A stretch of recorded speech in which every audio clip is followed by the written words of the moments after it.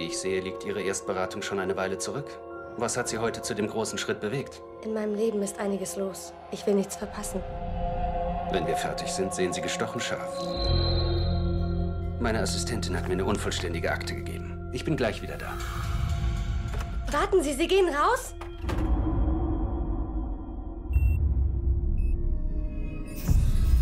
Ist das okay, was hier passiert?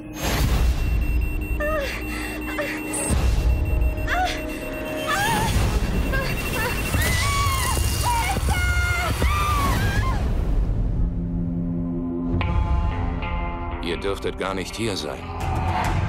Ihr solltet auf dieser Brücke sterben. Ein paar Glückliche überleben die Katastrophe. Doch dann holt sie sich der Tod. Einen nach dem anderen.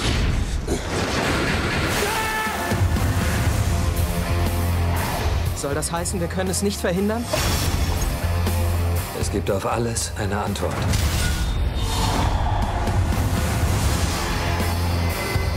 Heißt töten. Oder getötet werden. Niemand ist sicher. Verdammt, nein!